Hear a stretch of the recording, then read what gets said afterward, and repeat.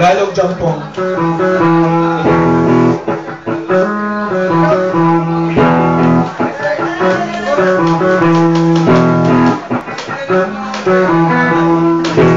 Huwag kang magtaka. Huwag kang magtaka kung sa pader ng Department of National Defense sinipinta ng mga magsasaka ang kanilang galit.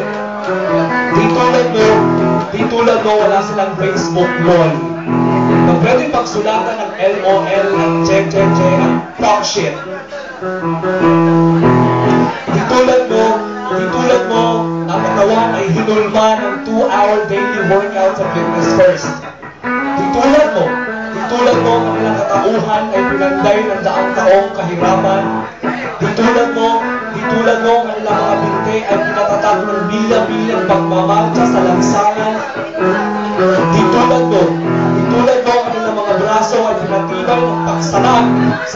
Sa hampas ng mga kawatan.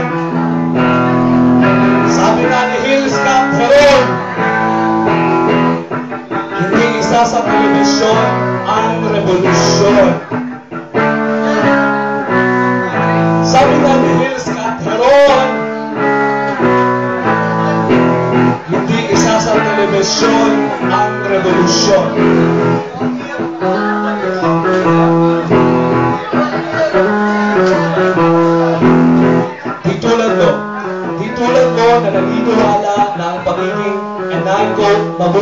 Pilipino, and ay ang magtawid sa tamang sa tawiran, pagsakay sa tamang sakayan, at di paggamit ng wangwang. Di tulad mo, di tulad mo ang mga pagmamahal sa bayan ay nangangahulugan ng kahandaang maglakad sa kalsada, nakalagay ang no jaywalking sign o di kaya sa bangketan may nakasulat na bawal ang tao dito. Oo, bawal, bawal. Bawal ang tao dito. Di tulad mo, di tulad mo ang pagmamahal sa bayan ay ang kahandaang magdilit ng poster sa gusaling may nakasulat na post no bill. At kung malaki, malaki may tiyak na huhusgahan, no, you can't post bail. Dahil sabi nga ni Sir Scott Heron, hindi isa sa telebisyon ang revolusyon. Dahil ang sabi ni Hill Scott Heron, hindi isa sa telebisyon ang revolusyon. Di tulad mo, di tulad ng kasiyahan ay nasa noontime show. Natutuwa ka sa kanino ka bumabangon commercial, pero hindi maiere ang boycott Nestle na sigaw. Patok na patok ang showtime, ipinagtutuloan ng putangin ng halimaw. Hindi tulad mo, di tulad mo lumahakot ng nagtimpala at pagkilala, pero hindi mo kilala ang mga tao sa likod ng camera. Hindi tulad mo, di tulad na ang kasiyahan nakabatay sa rating, hindi ka na nahiyang basahin at gayahin si Dylan Thomas nang bigkasin mo ang linga ng mga tula para kay Kapitan. Sabi mo ba nga, rage, rage against the machine, rage against the machine. Sa kanila mga linyang yan, sa kanila. At dahil rito, nalaglag luha ang kanilang luha. Hindi ito dahil sa walang kapantay ng visual effects o background music na malungkot. O kaya plugging sa prime time is this is the real show. This is the reality show.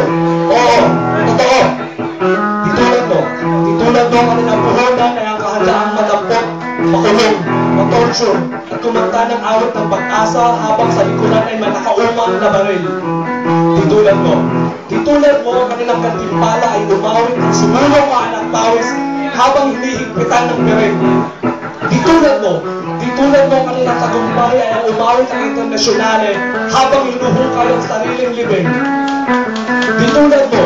Di tulad nilang handang madurog at masama sa koleksyon ng surfacing. Di tulad nilang handang mamatay. At maitala sa bilang ng mga biktima ng extrajudicial killing. Mamatay at maitala at malikhang visual effects sa sheet.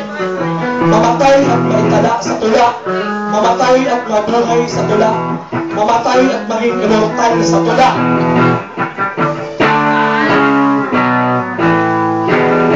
Sabi nga ni Will Scott Heron,